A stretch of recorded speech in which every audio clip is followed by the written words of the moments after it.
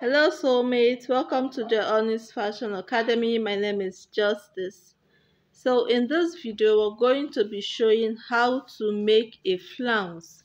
A flounce, like a spiral um, flounce that can be added to your style, to your design to give it a very nice fitting. So here I have a plain paper and I'm going to find the midpoint of the paper a, flounce is not difficult to make. You just have to find the measurement you want. Like here i have two inches um in a cross a plus sign or cross sign. So it depends on the size you want. You can make it as wide as possible. You can make it as short as small as possible. So i'm going to be starting this from one part of the cross that i've drawn and take it round. You can just see the way my hand will be going. So if you want your flounce to be of the same size whatever measurement you have from the center of the paper to the first line that is the same measurement you're going to maintain until you come to the end of the circle. Okay? So it is possible that you use your measuring tape and mark it one line after the other so that you get a very um, accurate measurement for each and every one of the um, circle. But in this case I'm just using my free hand all right I'm not bothered about the measurements I, I'm just guessing but I know it will come out okay. So for your own sake what you can measure it with your measuring tape and make sure that what you have in the first circle is what you have in the second in the third until you're done or you get what you want.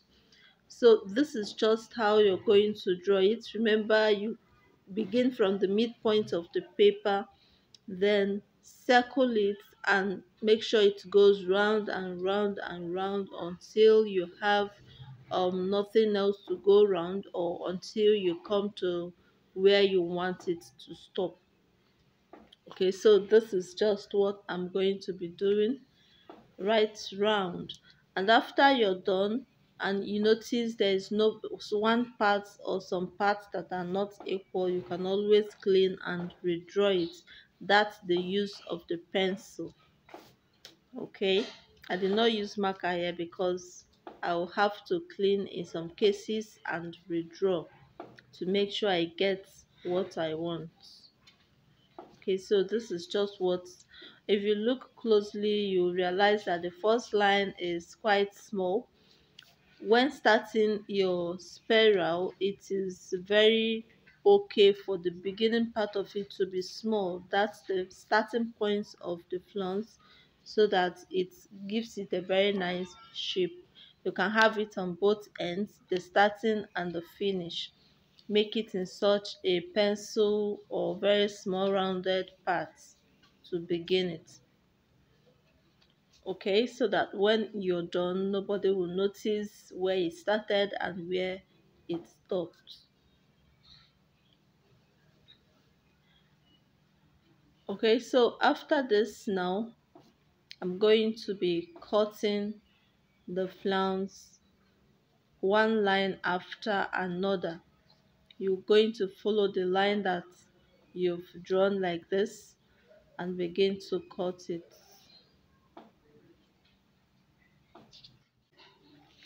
So this is me cutting or trimming okay cutting not trimming cutting out the circles the flounce in circles. This is called a spiral flounce okay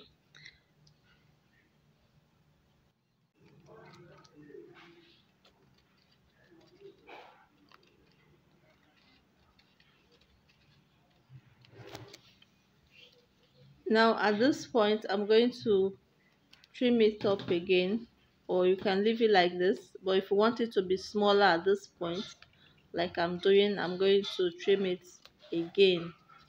Okay so this is just what i want. You can still trim it more to give it a pencil look at that um, beginning part of it. So one thing you need to do after or before cutting before drawing out your flounce one thing you need to do is that if you need um five inch um circle you're going to be cutting like five and a half or six because you will not be able to add sewing allowance while transferring on your fabric. So if you're cutting on your fabric you're adding your sewing allowance at the same time.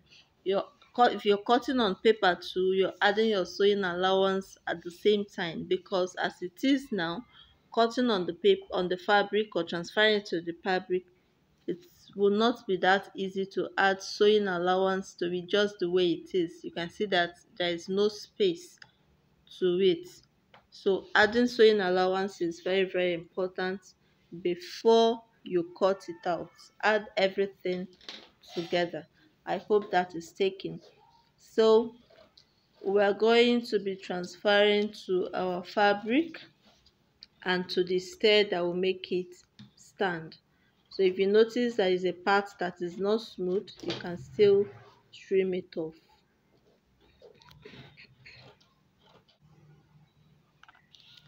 So here I placed on paper uh, on fabric and the fabric needs to be on fold one will have um the stay to stay the the uh, spiral flounce and then the other part will be to cover it. So you're going to trace it out like that and cut. So after cutting I have it into two. As you can see in the video I have it into two.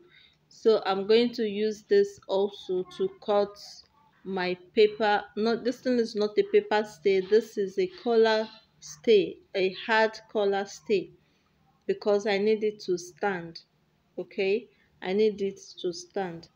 Now after cutting this on one part of the fabric you're cutting on one part of the fabric and you're going to use the other part to cover it. It will be necessary if you trim out half an inch assuming you added sewing allowance you're going to be trimming out this um paper stay because it's too strong. If you sew it it will not be that easy for you to fold it.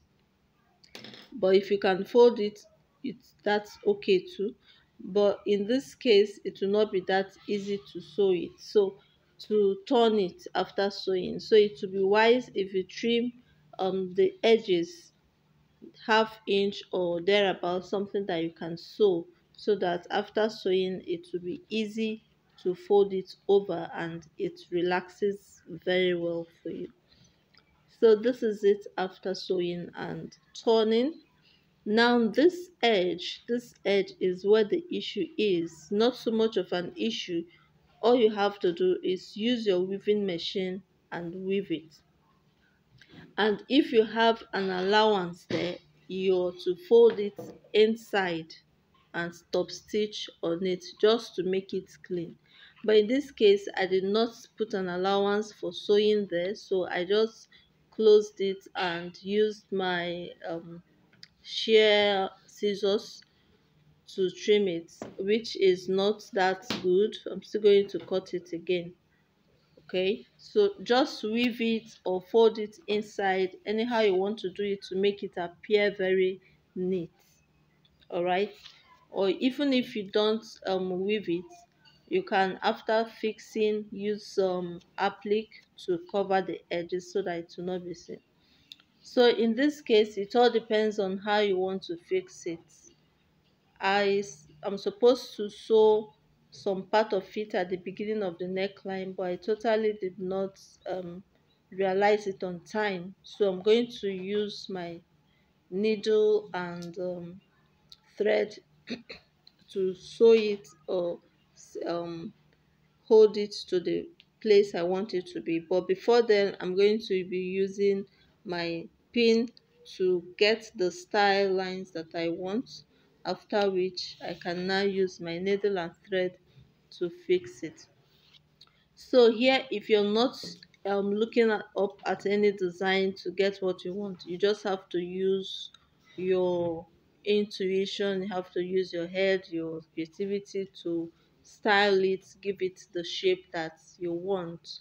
If you want the one in the thumbnail on the thumbnail you can also follow it and give it the same style or shape that it has. So just have to fold it squeeze it anyhow you want to do any shape you want it to take. So long as you cut it in form of the flounce that is the shape that it's going to take for you okay? So use your creativity in this case and just remember that it's not that easy. It's quite simple but it, requires some time for you to come up with something fix it and make it look beautiful. It's not a five minutes job. So i'm going to cut this video and continue from where I stopped. And at least by now, I know that you must have learned something very, very, very, very useful on how to go about your flounce. If this video makes sense to you, please give it a thumbs up, share it, comment, subscribe if you've not done so, and I will see you again in our next video. Love you. Bye.